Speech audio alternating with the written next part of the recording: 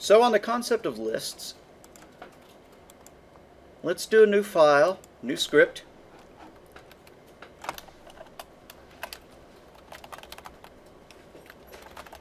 I'm going to just call this one turtle list.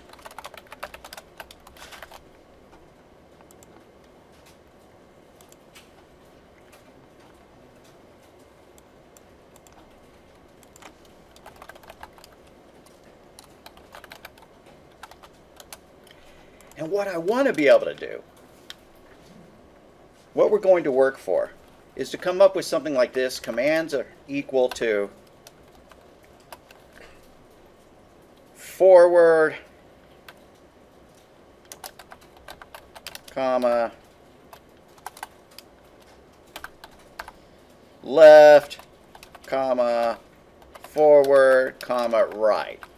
Although that's pretty boring because it's not describing the direction that it's going to go. So we need to make it a little bit better than that. Like maybe forward 90 pixels, left 45 degrees, forward 80 pixels, you know, right 70 degrees, that kind of thing, you know. And then the turtle would follow those commands. So we're going to need some kind of function that will take one of these commands and do it.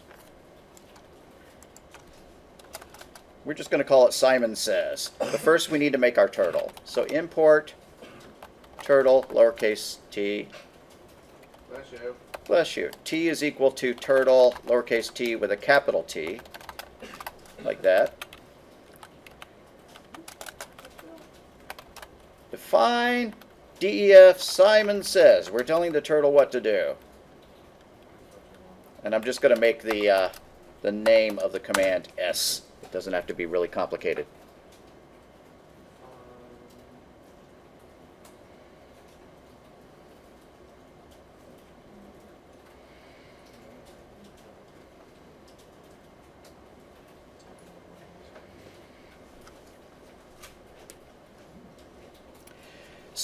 So, if we're passed in a command, you don't have to type this uh, in, but if we're passed in a command in the form of a letter and a number, we need to get that F out so that we can do ifs on it, and we need to get that number out so that we can, you know, turn it into an integer and go forward that many pixels.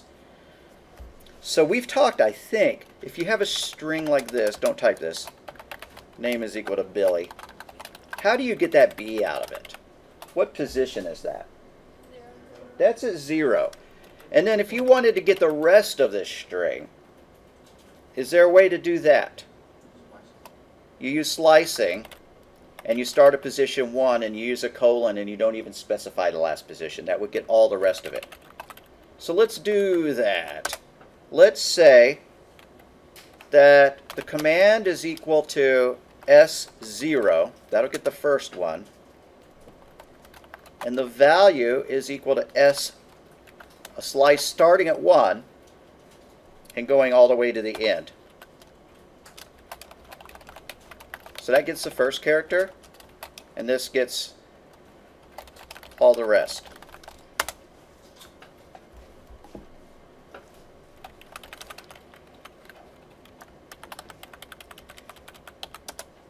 Now just to test it out, we're going to implement only one command, which is F. if command is equal equal to f, t dot forward, whoops, we need to turn that value into a number. Unfortunately, there may really not be a value. What if it was just something like that? Sure, all of these commands have values, but what if we extended our vocabulary so that it could lift the pin up? Well, you don't pass in a number to the pin up, or a begin fill, or an end fill. So, what we need to do is, if there really is a value, we need to convert it to an integer. But if there's not, if the length of it is 0, then it's not going to be. So let's do this. If the len of value is greater than 0, that means that there's really data in it.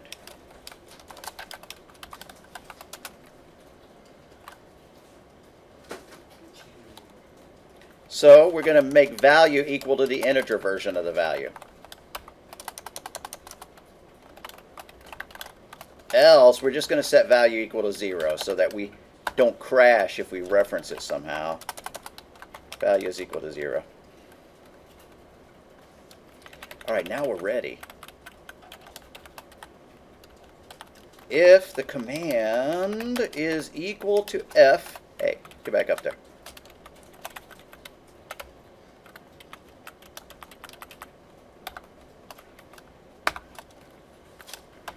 Then t dot forward value pixels.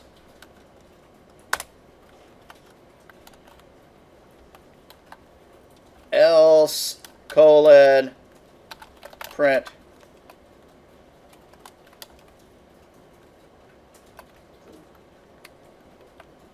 command comma not recognized. We just got to tell them that that's not implemented yet. Right now we only have one command implemented, the F command.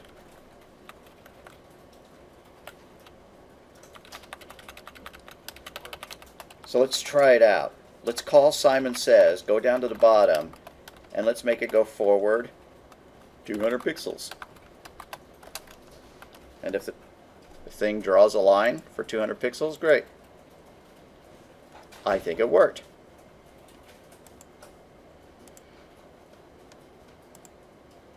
Let's add more commands.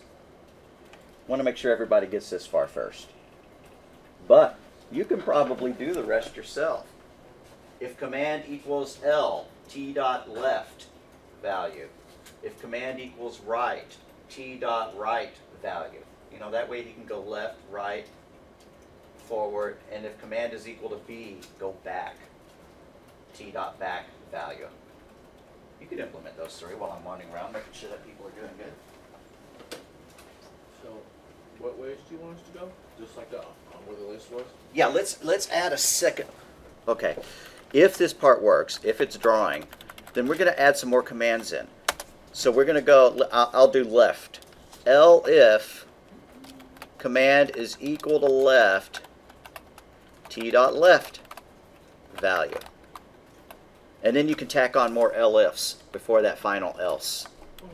If command equals right, turn right. And then you have to come down here to that Simon Says call and test those out. Simon says right 90. Simon says left, you know, 45, that kind of stuff.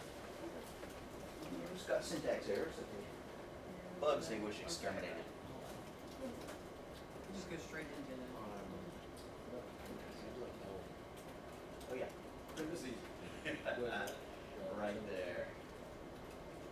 Oh, Yeah. and that would do it. Thank you. Yep, there we go. All right, cool deal. Thank you. What other turtle commands have we used besides left and right and stuff like that? We did a color before. We did cut. We've done color, but color is a string. I want to kind of ignore that one for now. Sorry. You just want directions and that's it. Just because we don't know how to deal with that string yet. I haven't thought of a way.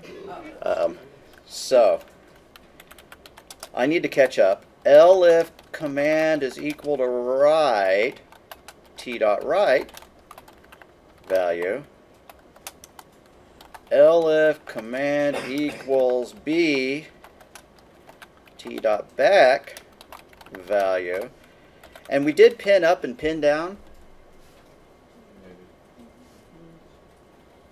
I'm not sure. I guess U could mean up and D could mean down. Those won't even use a value. I want to make sure before I have you type this, I get the syntax exactly right. Pin up Python. Okay, it is pin up with no spaces. I mean with no underscores. Okay. So elif command equals U T dot pin up.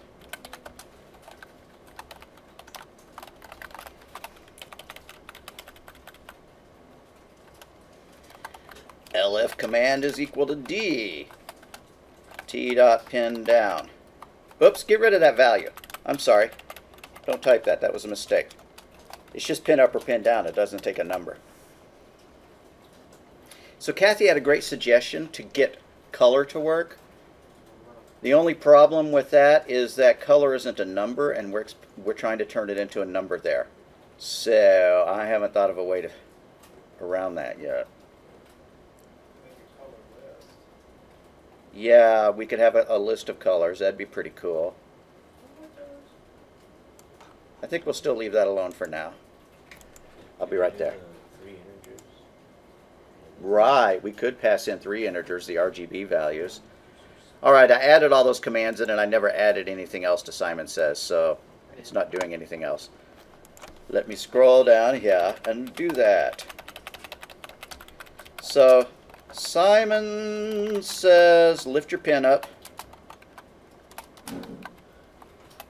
Then Simon says turn right 90. Simon says what happens if you do it without saying Simon says you don't do it? Forward 200 and then let's put the pin back down. So Simon, I'm just making these up. It's not going to draw anything nice. Simon says put the pin back down and then I don't know. Turn right and go 200 again. Simon says right 90. And lastly, Simon says forward 200. So if this works, he'll go 200, he'll turn, he'll lift his pin up so there won't be any line, he'll go another 200, we'll put the pin back down and we'll go another 200. So there should be a blank line involved here. Yeah. Okay, calling Simon Says a million times is annoying. We actually want to make it work like that, where we can just create a list of commands.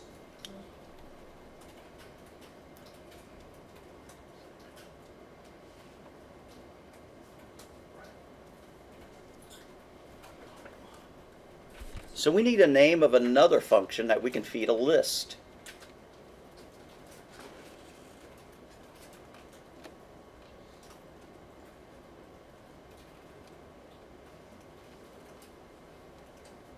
I'm not coming up with a great one.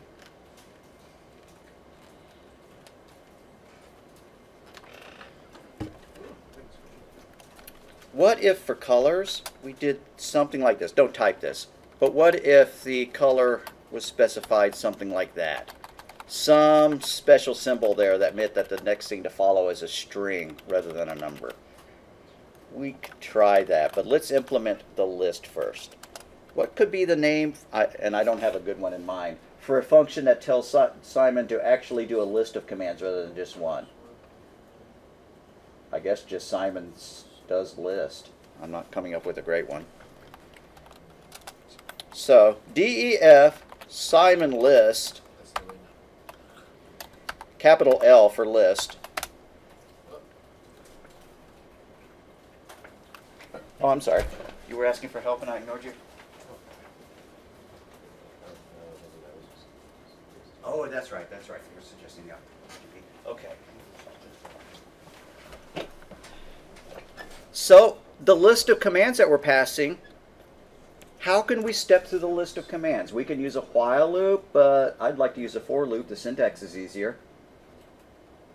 We've done that, right? How do we use a for loop? We do something like this. For command in L, do Simon says on that command.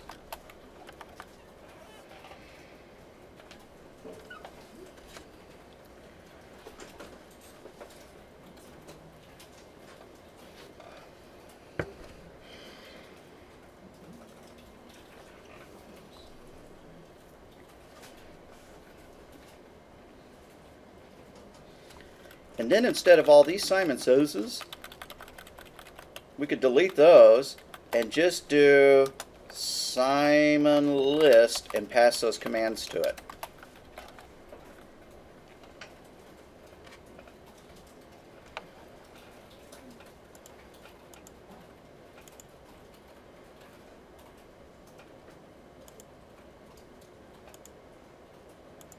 Alright, that's a boring series of commands, but it works. I want to make a draw triangle. Modify your commands to draw a triangle. That's the first little thought puzzle while I wander around and make sure everything's compiling. I'm so envious of your Mac screen. Oh, your AC screen. There's a Mac. Okay, you just got an alien head.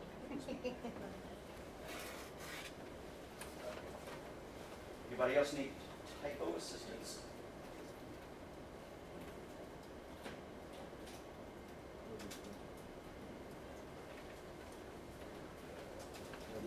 So what are the angles of a triangle? I mean, if it's a perfect triangle, isosceles or whatever they call them. That's a good question. I think it's 120 degrees. So forward 90, left 120, forward 90, left 120. And you probably used your own links. That's fine. You may have turned right rather than turning left. That's fine. Forward 90. Whoops. That's really enough, but if we want to turn back to the original way we were going, one more turn would do it.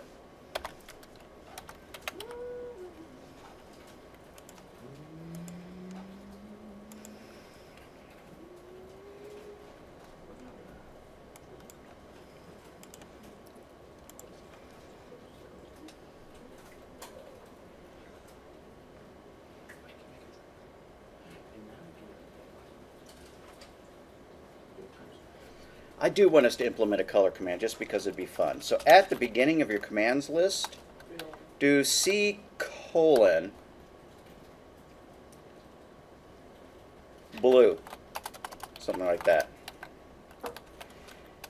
So what our code is going to do is to check to see if the value begins with a colon. And if it does, then value is going to be a string rather than an integer.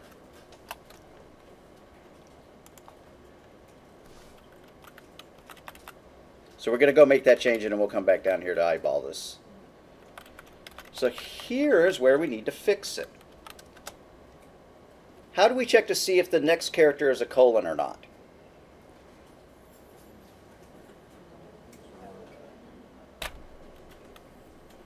Well, the value, it actually becomes the first character of the value, so it's again going to be 0.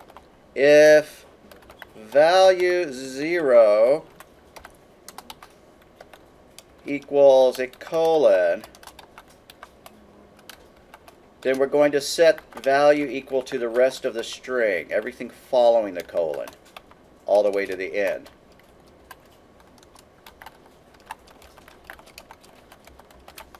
Else, we're just going to do this uh, int thing. We're going to assume it's a number.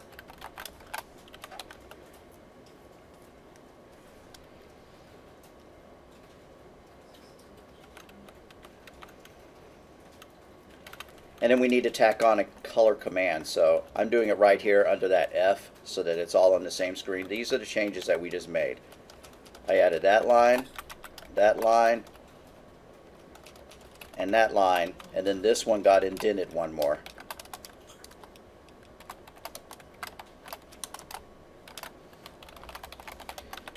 So here, after if command is equal to F, let's do elif command is equal to C t dot color value.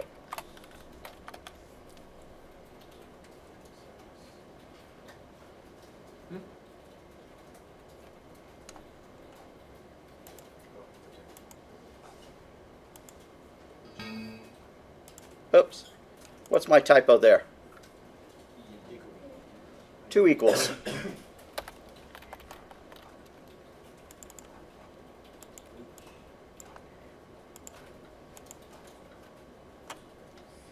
Alrighty, I blew, drew a blue triangle.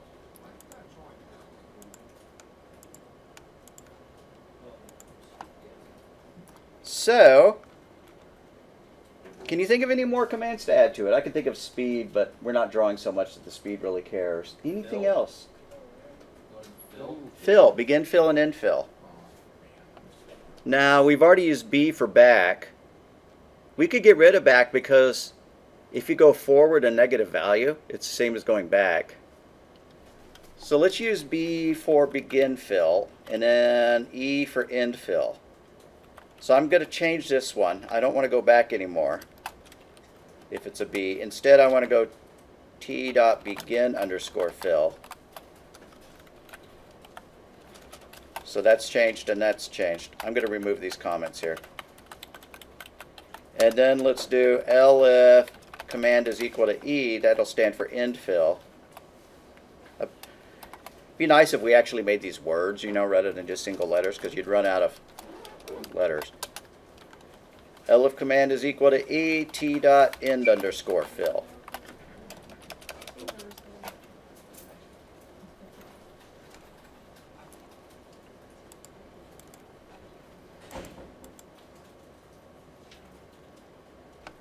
I didn't change my data to do a begin and end fill, so that didn't help, but I'll do that. So my very first command is going to be a B, quote B, quote. And then my very last command is going to be an E to end my fill. Now you can't see all that because it's scrolled too far. Just know that there's a quote E quote at the end of our commands.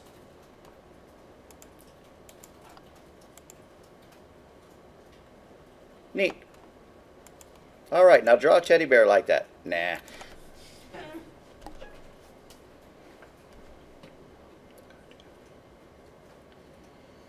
The only other thing that I think would make this super duper awesome would be to allow setting both the fill color and the pin color. Right now we're only we're setting both at the same time because the color parameter, if you only send in one, sets both, but if you send in two, it specifies the line color and the fill. I don't want to do that. And then the other thing that would be cool is if we implemented that go to command that the uh, that the teddy bear program used so that you could go to a specific place. But that would re also require two parameters, and right now this is just set up for reading one, and we would have to make some changes I'm not ready to make. So I think this program is pretty much done.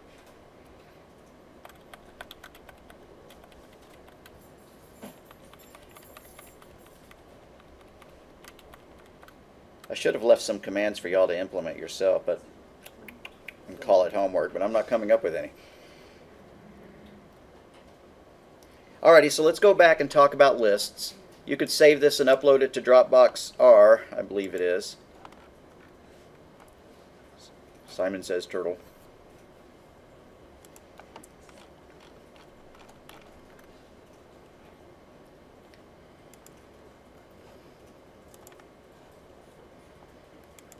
So I'm going to make a new file. This is just going to involve more lists. So I'm going to do a save as. We need to give it a good name. I don't know. April 4 lists. That's a clever name. Name, date, April 4 lists. All right, say I want to make a list of student names. How do I define an, a list of names? We have to give a variable name. I guess I'm just going to call it names. That's real clever. And then equals, and let's say I want four names. So what do I do after that?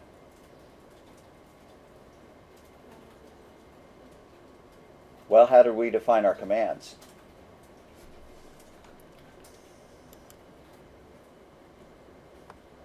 Come on, guys. How did we define our commands? We had CMDS equals 2, and then what came after that? Yeah, the square brackets. And inside the square brackets, let's put some name names. Let's see. Our students are named Tony Stark, Darth Vader. We have some bad students. Maybe only three. and Harry Potter. Genius students. Yeah, that's right.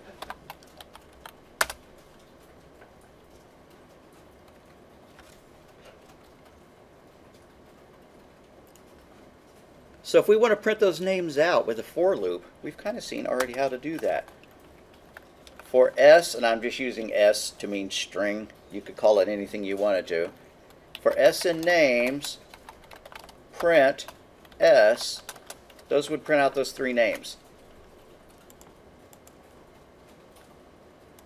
What if I only wanted to print out Darth Vader?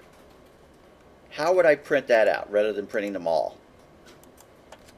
What would I do if I wanted to print out just Darth Vader? I could type names and then I need to add something to that to specify that position. Yeah, we could use a slice or just, yep, yep, like that. But we're only going to put one number in rather than two numbers and a colon. So this is position what? This is zero, so that's one. Yep, yep, you got it.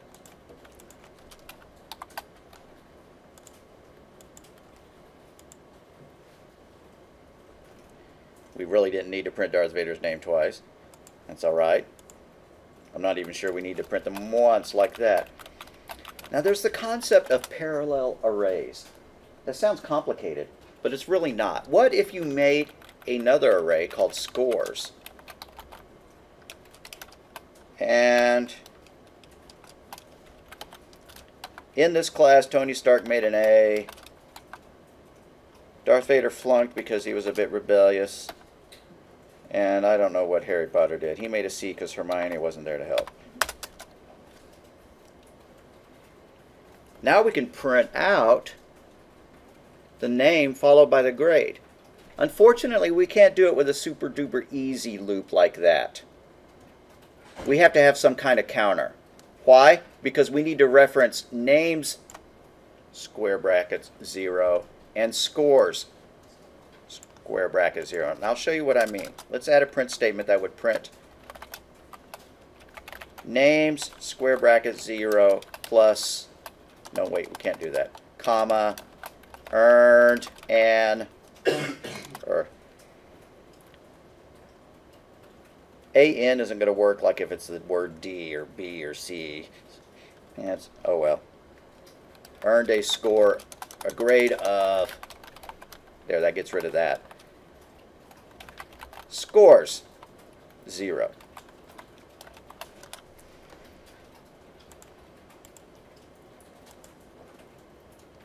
There we go. Tony Stark earned a grade of A. If we wanted to print out the next two, you could copy and paste those. You can get the idea, though, that we're going to replace this with a loop. And print out names 1 and scores 1. And then print out names 2 and scores 2.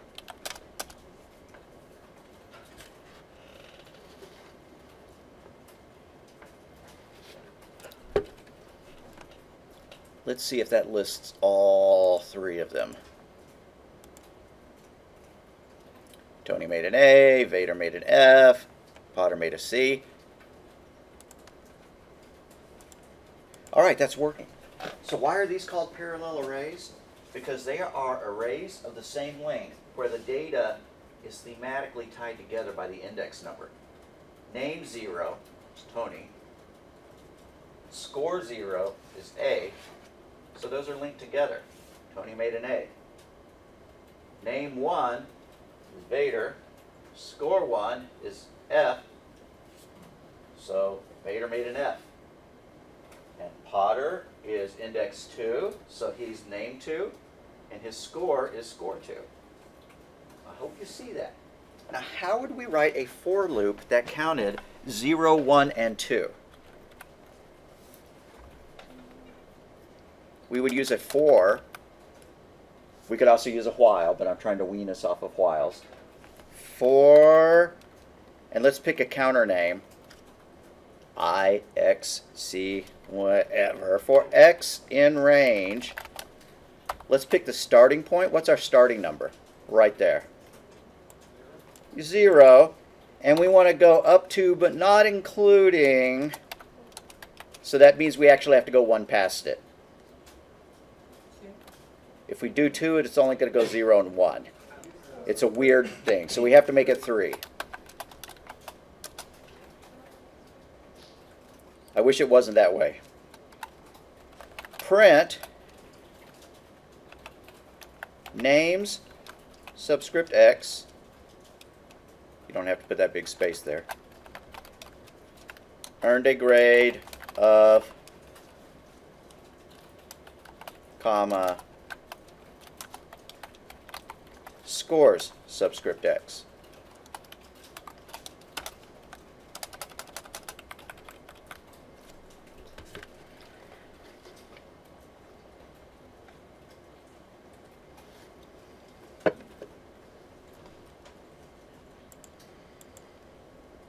That should just print the same data twice. Tony Darth Vader Harry, Tony Darth Vader Harry. So since it's printing it twice, why don't we comment these out? Hashtag those out of there.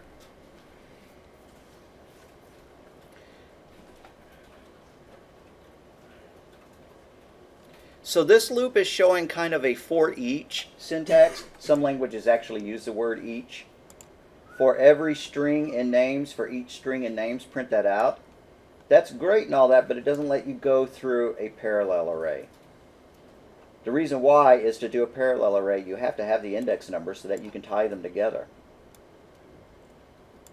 So instead, we used a for loop, we used a range for loop, which it iterated a counter, x being our counter. Now, if you have a range statement, you don't have to specify the starting and the ending position. If you delete the first number, if you only have one number, then it assumes that's the end. So that syntax looks a little bit clearer. I don't mind putting 0, comma 3 there. Another thing that would be interesting is that this code will break if we delete one of the people. I'm going to delete Harry Potter temporarily, just, just to show you.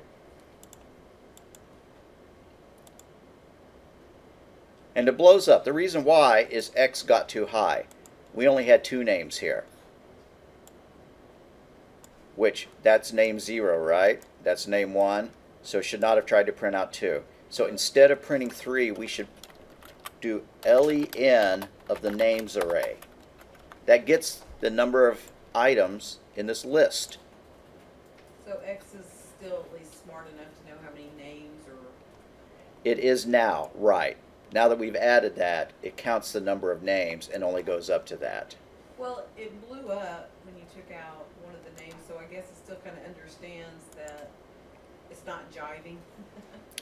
The amount of names Right, when we had this three, three. When we had this here as 3, what happened was is uh, this counter X went from zero, one, and 2. Right. 0 worked, worked great, Tony Stark. 1 worked great, it printed out Darth Vader. And then when it tried to print out names 2, there is no names 2. So that's why it crashed. So instead, we want to make sure that X only goes to 0 and 1, which is means that we want to base it on the length of the names list. So that's why we're going to do length of names. Now I've kind of monkeyed with this syntax enough that I'm worried that we've kind of left the point behind.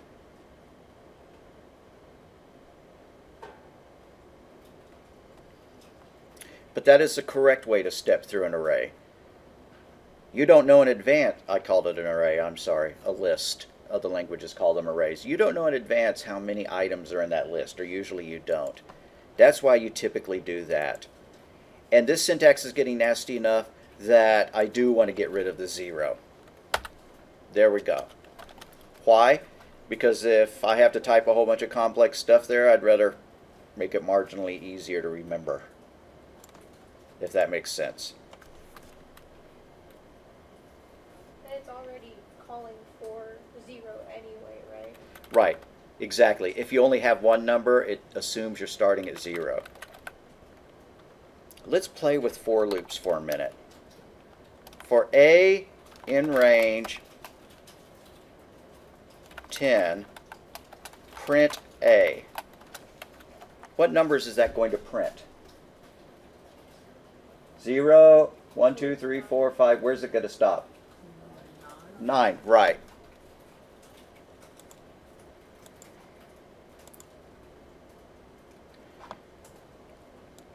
What about this one? You can reuse the same variable name all you want. As long as it's part of, just part of a loop like that. For A in range, can, can I spell? 10, comma 20. You've got O M instead of I N. Um, here we go. Thanks. Print A. And we all understand that that name is meaningless. I could call this Fred as long as that one matched. Don't make that change. But this is just a temporary variable that holds each value in the list in turn.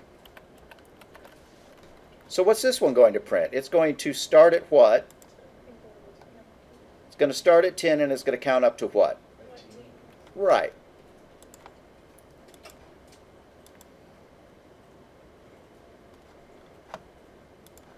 So this got gave us 0, 1, 2, 3, 4, 5, 6, 7, 8, 9. Or I should just say 0 through 9. This gave us 10 through 19. What if we want to go backwards? For A in range, now I'm actually not sure if this is going to work. I wanted to start at 20 and then go back down to 1. So this is an experiment. If you specify a third value, it, it controls how it increases or decreases. These are a assuming a third value of 1. They're going up by 1 each time. If we made it a 2, it'd go up by 2 each time. Tell you what, let's make this better. Rather than um, go backwards, because that's a weirder concept, let's go to tw- from 20 to 41. So it, will, it will include 40. But we want to count by fives. So that will print out 20, 25, 30, 35, and 40. Why did I make this one 41? Because I want it to be, you know, same reason we made this 20 when we want to get it to count up to 19. I tried it the other way anyway, it told me invalid with the, that negative one that we had up there first. Okay. It said invalid for some. Oh, I forgot to print. I forgot my colon too. Here we go. I always feel like making a joke when I say that. I'm not gonna. Here we go.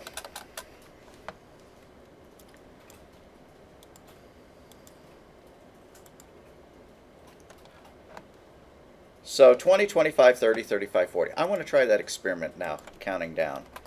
For A in range, 10 comma 0 comma negative 1 what is what i wonder what that does. You said it didn't work. I believe you. it's 'cause I didn't know I couldn't, my- I did a negative one and it did work, so. okay it counted 10 9 8 7 6 5 4 3 2 1 and it stopped before it hit 0 that's annoying. That means that if i wanted to get to 0 i have to type in negative 1 there.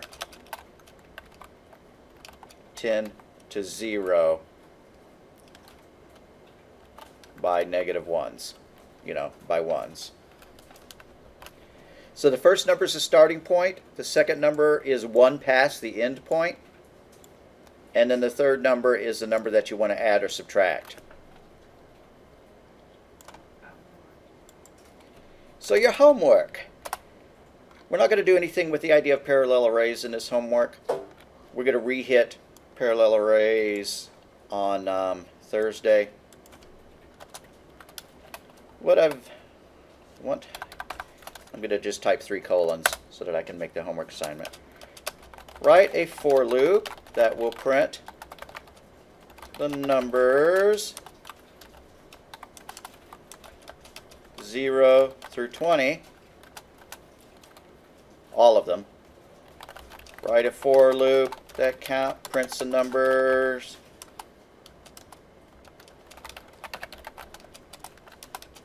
one hundred through one hundred and ten.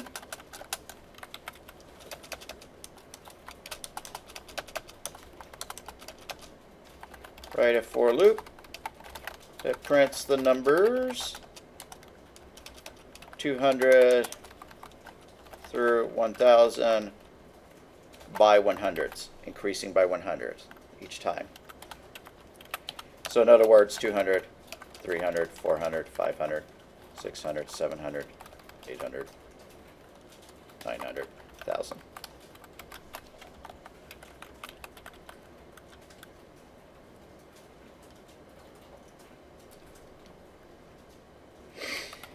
Then lastly, same idea as the movie list. I'm kind of running out of things. Names, movie list, books, car brands. Make a list. No, songs. Named songs. example, songs is equal to, these are my songs. Make your own. Alrighty. You know, songs like We Will Rock You and whatever else. That's not the correct syntax, obviously. Write a for S in songs loop that prints the songs out.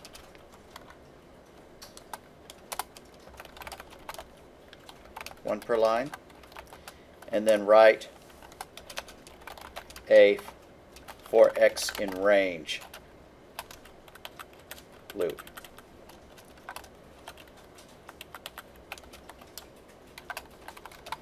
That prints the songs out.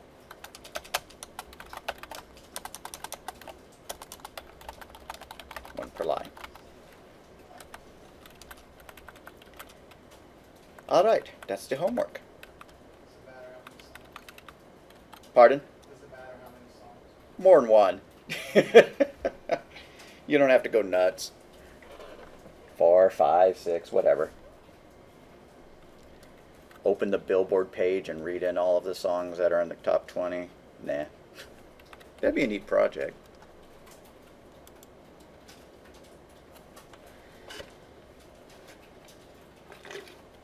All right, so we're done for today which means we're getting out 10 minutes early. If you felt like working on this right now, you might be able to get it done before you left for the day. Or, you know, bail. Go ahead and I'll see you on Thursday.